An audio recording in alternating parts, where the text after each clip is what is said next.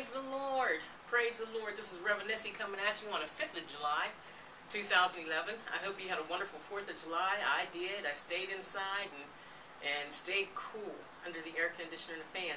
Uh, but I did watch the fireworks um, on uh, Channel 11 in Pittsburgh, Pennsylvania, and it was, it was beautiful. It was beautiful. God is good.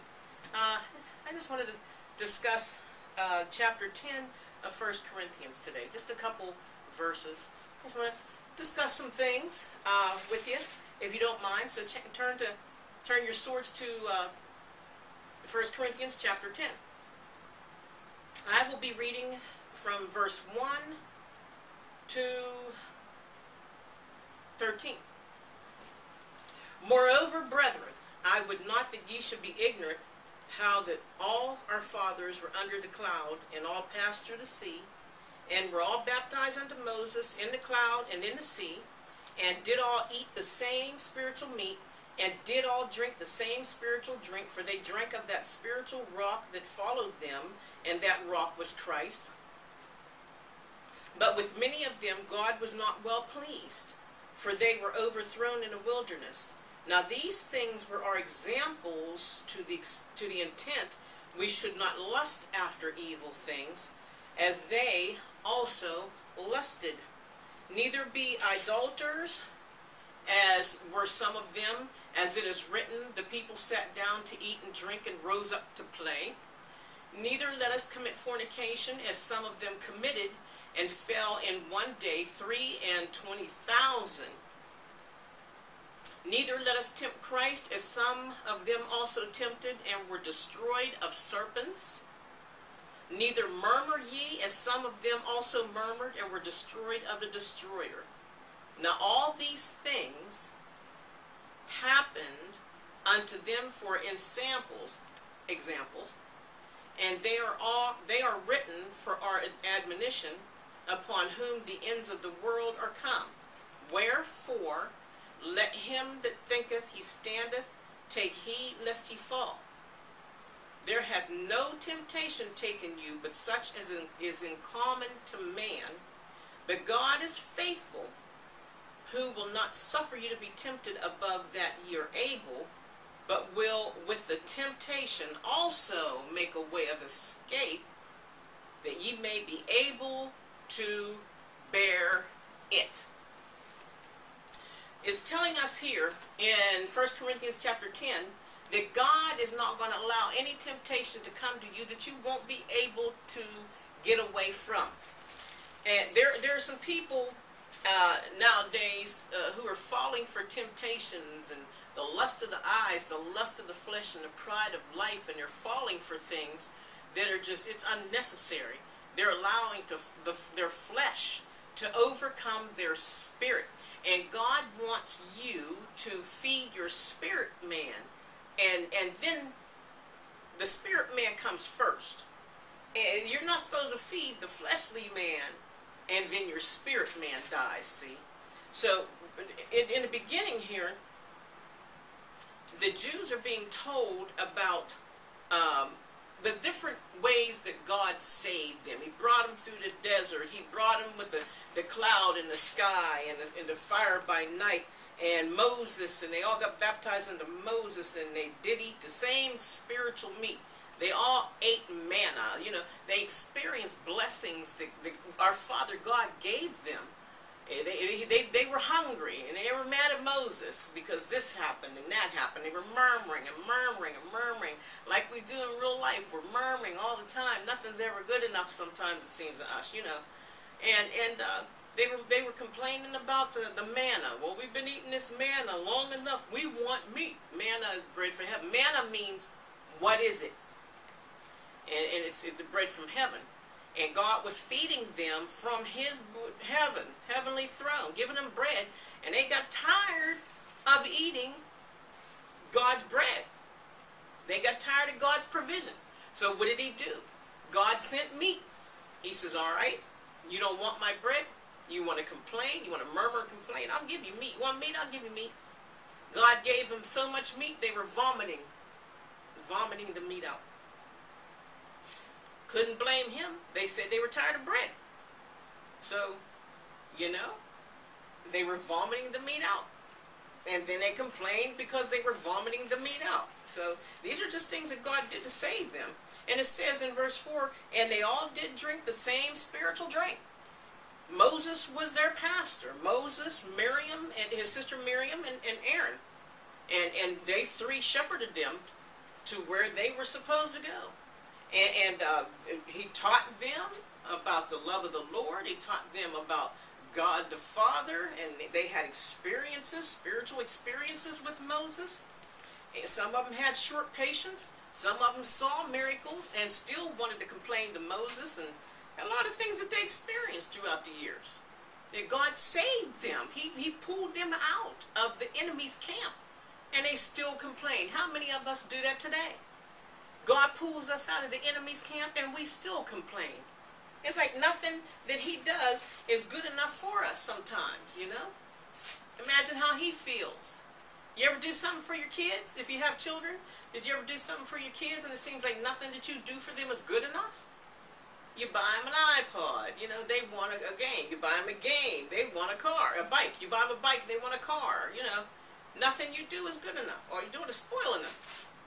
You gotta let them learn how to make their own, acquire their own things that they need in life. Amen. When they get to a certain age, they should be working at McDonald's flipping burgers somewhere to buy themselves their first little four or five hundred dollar car. Amen. Well, that was back in the day. Now they buy ten, eleven, twelve thousand dollar cars. You know, with with a thousand dollar payment or whatever. You know. But uh, yeah, allow your child to learn. Amen. So they won't murmur. You know, if, if they're murmuring and complaining, then they need to work better, do better.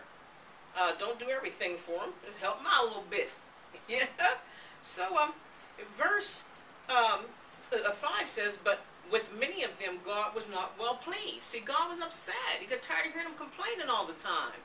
He's God. He's the Father of all good things. And says, For they were overthrown in the wilderness. God shows his divine displeasure towards them. If you go back in uh, Numbers 26, 65, you'll see in Hebrews 3.17, you'll see things uh, that pertain to the same thing. They were overthrown in the wilderness. They, uh, they uh, were dry and thirsty and hungry and murmured and complained.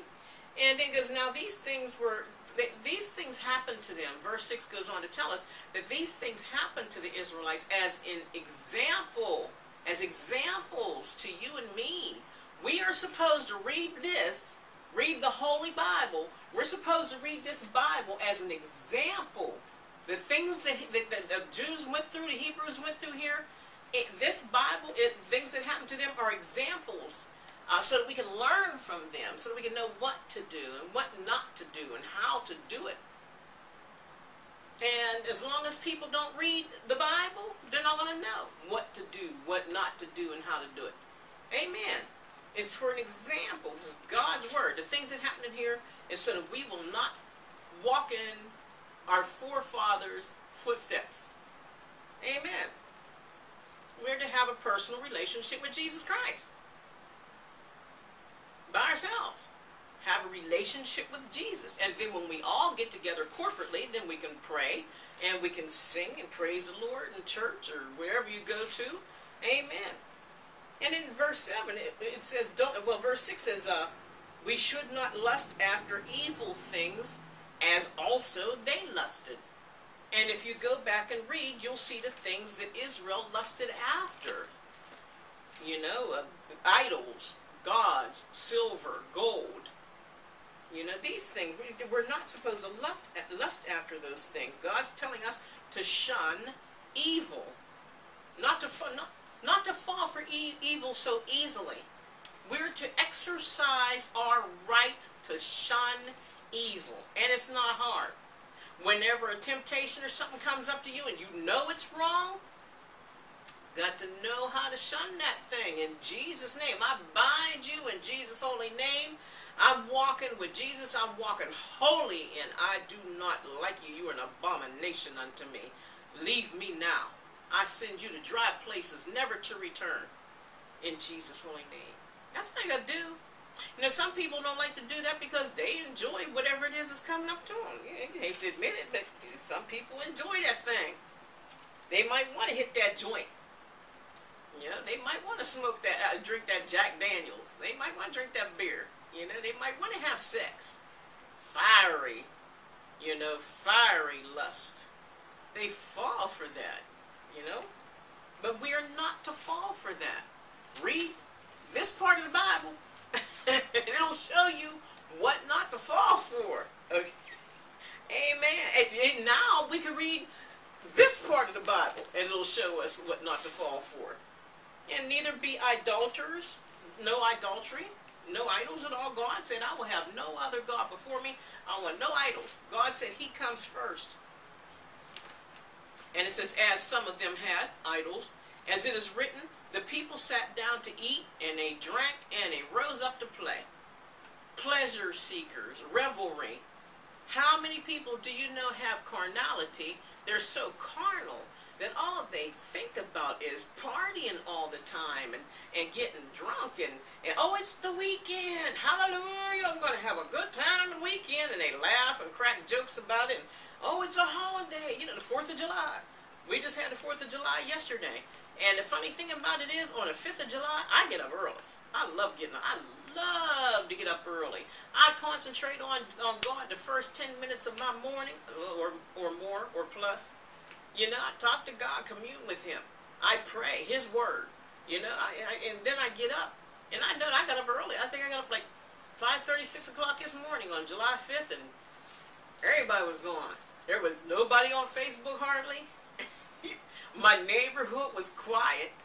You know, it's a worldly, carnal festival. But what gets me though is pardon me, I hope I'm not murmuring. But what gets me though is Christians fall for this too. Where were the Christians early this morning? They didn't start showing up on my wall. I don't know, I got a lot of people on my wall. I have over, I think, 1,200 people, 1,200 friends, which isn't much compared to some people, but it's a lot for me. You know, I appreciate it. But I have 1,200 friends on my Facebook wall, and nobody was on. 7.30, 8 o'clock, around 8 o'clock, 8.30 this morning, they started to come on.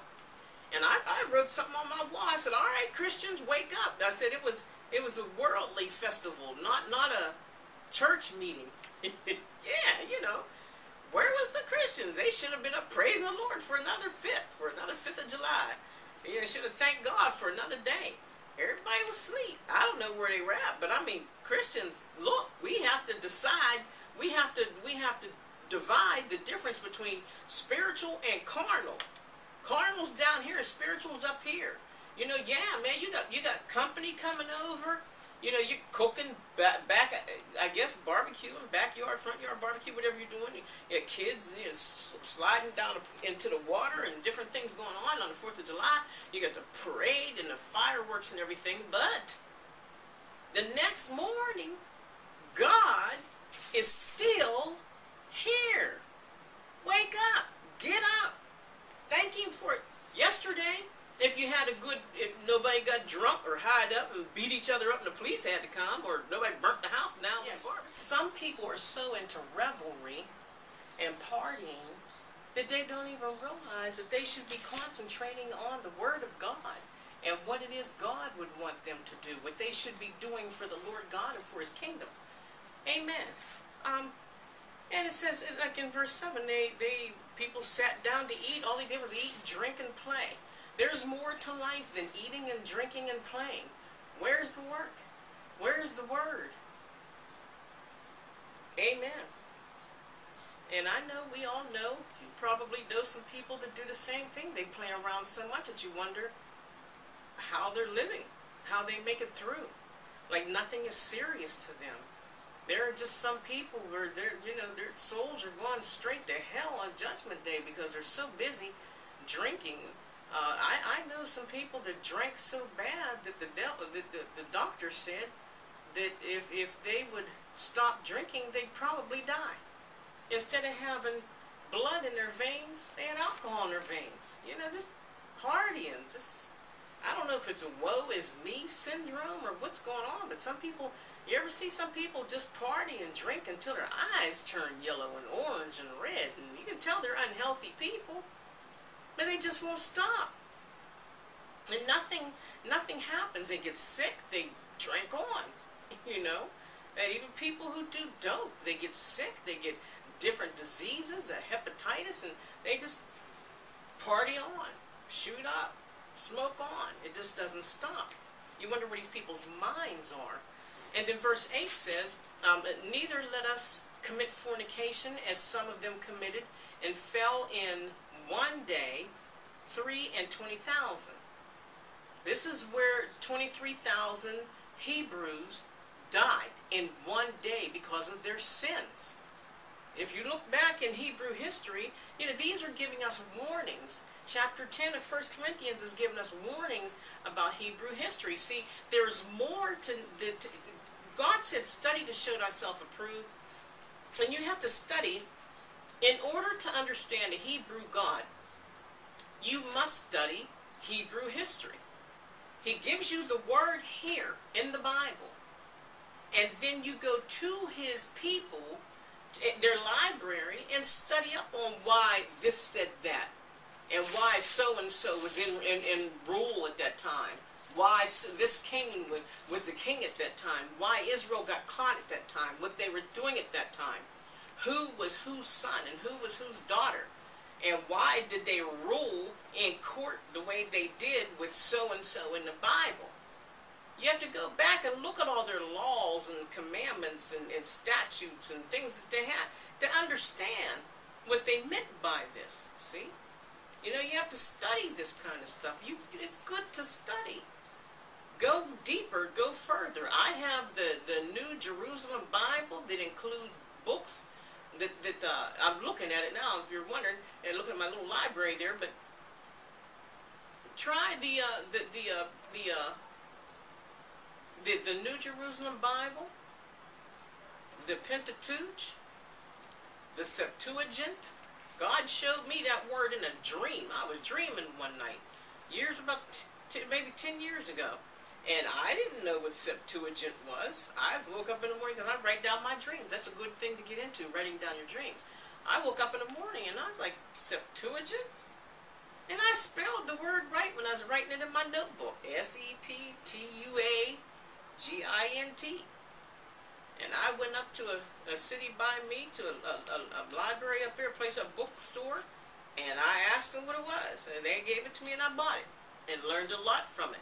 It's it's uh, it's the the Bible, uh, the Hebrew Bible, before it was canonized into the 66 books the way it is. It, there's some books in there that weren't canonized, but when you read them, you learn a lot from them. Oh my, I, I can go on about that, about some things that I learned. Blew my mind. Blew my mind. Amen. And I, this, this book here, whenever they got together back in the day, you know, uh, they wanted to leave out Esther. Esther doesn't mention God's name once. But yes, she's in this Bible because there is a lesson to be learned from it. She went to God and fasted and prayed, but he, she, the, his name, he wasn't mentioned in the book.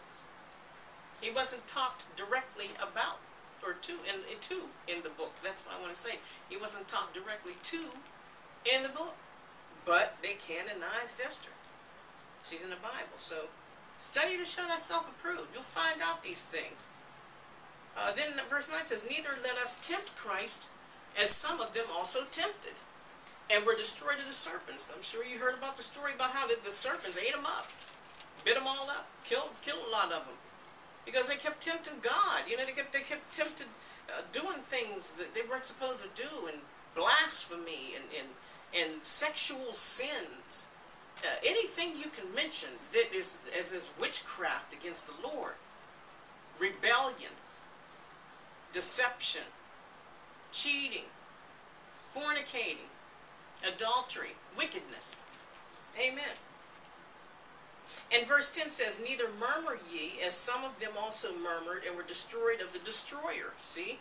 They murmured so much that God just gave them up to their own lust, their own, their own minds, you know And so they just became, uh, someone became out of their mind, and the destroyer destroyed them. They destroyed themselves, actually. Murmuring turns you over to the destroyer, complaining. If you notice when you watch TV, a lot of the uh, com uh, comedians now on TV, if you watch them, they, uh, Jewish, Jewish comedians especially, crack jokes about how Jewish people complain. you know, it's down throughout the history about how they complained. I watched a lot of Jewish Jewish uh, actors on. I love uh, Jewish uh, um, comedy and stuff. I love it. And, and you hear them talk about how Jews complain, you know? And they're not the only ones. But I won't go any deeper. Ah, I refuse. anyway, we'll talk about that later. oh, Lord. And then verse 11 says, Now all these things happened unto them for examples. And they are written. See, it's recorded for our good use, for our admonition upon whom the ends of the world are come. Wherefore, let him that thinketh he standeth take heed lest he fall. Listen to what I'm telling you. Study the Word. Study Hebrew history. Learn names.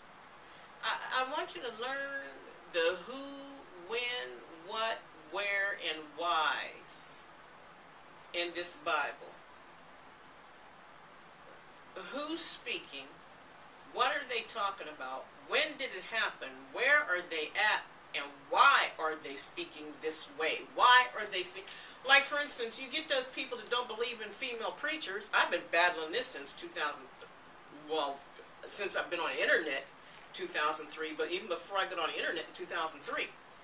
When he says in the Bible, let your women be silent in churches, that does not mean that women should not speak in church at all. That was for that time then, because at that time in Hebrew history, women were embarrassing their husbands. The men sat on one side of the church.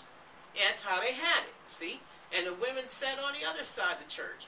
And when a man would get up and say something that the woman didn't like or disagreed with, she'd stand up in the church and disagree in front of everybody, their private business, or, or make her husband look bad. That's what, see, God likes things done decently in order. And that's what he meant when he said, let your women be silent in churches. See, it, women been preaching since the beginning of time. As I told you, uh, Moses, Aaron, and, and his sister Miriam. They were pastoring, they were pastoring the sheep. They were shepherds of the flock of Israel. And Deborah, the judge. I won't go all into that because I've been talking about it for years. But there are women ministers. The Bible says women ministered unto Jesus.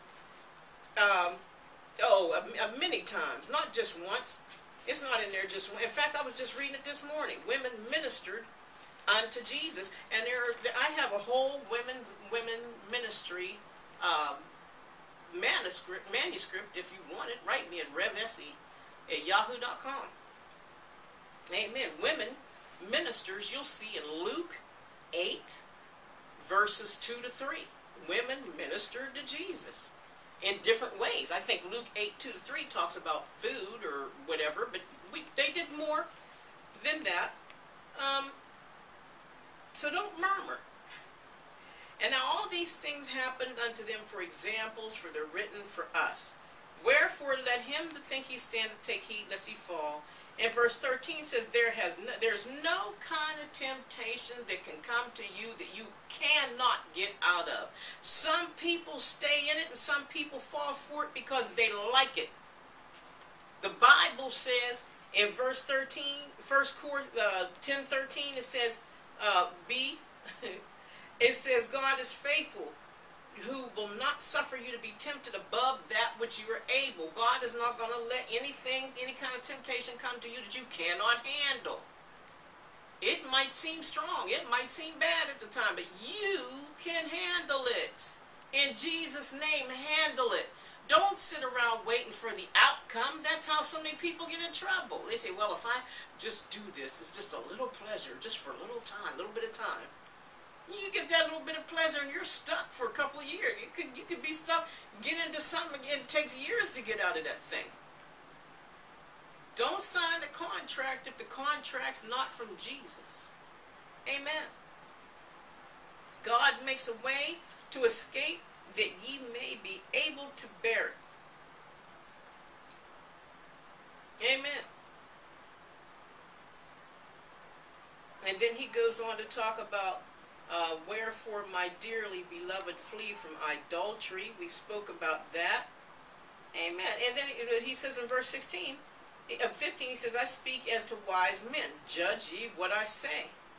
The cup of blessing which we bless, is it not the communion of the blood of Christ? The bread which we break, is it not the communion of the blood of Christ?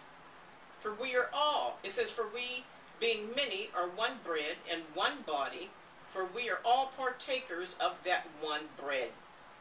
We are partakers of the bread, of the body of Christ. We must act like the body of Christ. Think of how Jesus acted according to this word, God's holy word. How did Jesus act? WWJD. When you are a part of Jesus' body, how did Jesus act in certain situations? Do that thing. He's our example, major example. He's all God and all man. He was there. He did it. If Jesus did it, we can do it. What did he do? What did what, what did Jesus do when people came up to him gossiping or, or, or accusing someone of doing something like they never did it themselves? Come on, you know all the answers to this. What do you say? You know, let the first person without sin cast the first stone. You know, so you do the same thing to people. Somebody comes up to you and starts talking about somebody out the clear blue sky, dogging them for no reason. Just tell them, say, yeah, but you know, we all have, you know, we all have problems. Nobody's perfect, you know. you know, you don't want to agree with them, but you just tell them nobody's perfect. You know, we all have problems. You're telling them in a nice way. You're not perfect either. You're presenting here, you're presenting this person to me as a demon and a devil. You're not perfect either. You know? They don't want you to bring their stuff up. So, when you're tempted to do things, your flesh causes you to fall for it. It likes it. The old man likes this kind of stuff. And you have to fight that old man to keep him. See, if, like I said, if you feed your spirit more and feed your flesh less, you won't fall for this stuff. Um, First Peter chapter 2, verse 11. Took my tabs off.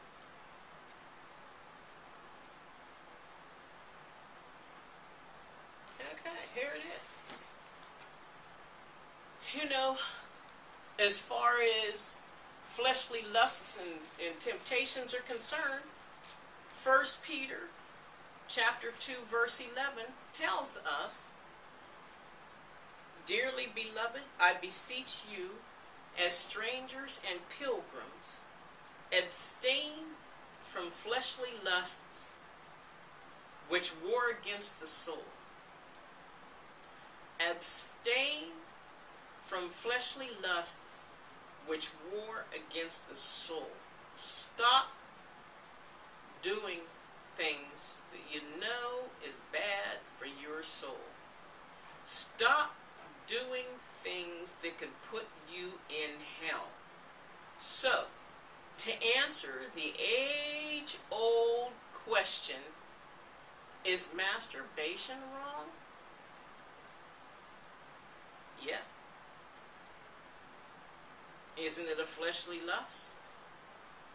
If you're not married, the Bible says if they cannot contain themselves, you know, don't let them burn, let them marry.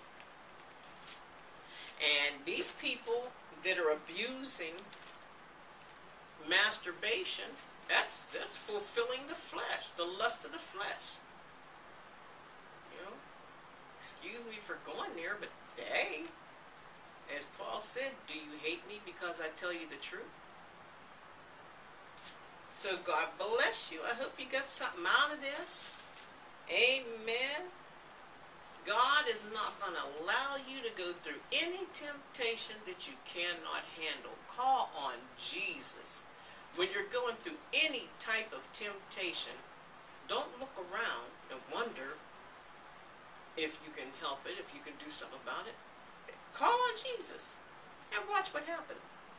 Guaranteed when you call on Jesus, I guarantee you, when you call on Jesus, He will help you. Keep your relationship open and clean with Him. Amen. Well, Reverend Essie signing off. Thanks for listening. God bless you. And have a good 5th of July 2011. Hope to see you 5th of July 2012. Unless Jesus comes back first. God bless.